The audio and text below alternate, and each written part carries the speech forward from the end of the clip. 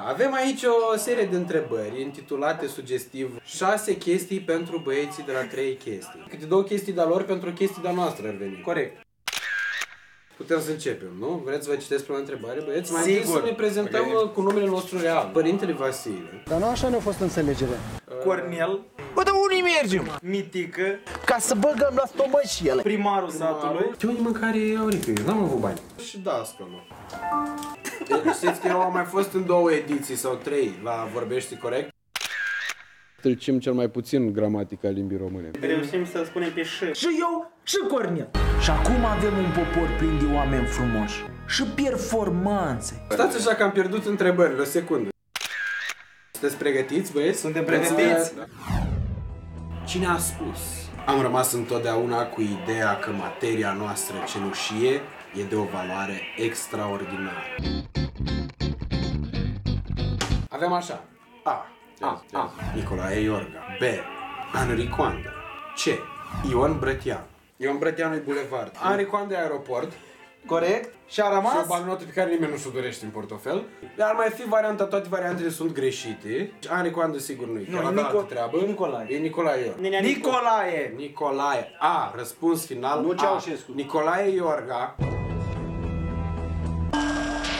Eu am rămas totdeauna cu ideea că materia cenușie a noastră e de o valoare extraordinară. Bine, domn primar!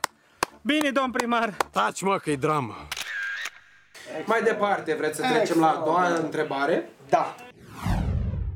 Ideea de unire, năzuința neamului românesc de pretutindeni de a strânge într-o singură închegare de stat a trăit în toate vremile la noi. Știi că e o sărbătoare importantă asta, adică e odată la 100 de ani se face centenar de asta. Tu iei bani pentru asta? Răspunsul este Nu. Vende fondul. Nu, răspunsul la întrebare. Da. Da. Da. Da. Da. Degeaba, nu? Categoric da. Avem trei uh, variante. Trei variante. Variantele sunt așa. Octavian Coga, Tudor Arghezi, Cezar Petrescu. Sigur nu a zis Tudor Arghezi chestia asta. Cezar Petrescu era ocupat că scria Framursul Polar. Deci... uh, Octavian, Octavian Goga. Răspuns corect. Uh, pardon, final. Că nu Goga. avem de unde știi dacă e corect. Uh, A. Octavian Goga. Păi, mă. Doamne, ce greu a fost. Să trecem la întrebarea Mergem a mai treia, departe care pe- băieți, fiți atenți. Treia este- întrebare. E o piatră grea de încercare. E bine că noi înmormântare. Cu ce ocazie s-a spus? Fiți calmi, ieșiți pe stradă, în liniște. Aici merg eu la sigur. Deci, Deci, na, de când? S-a spus uh, în Iași la o coadă mare.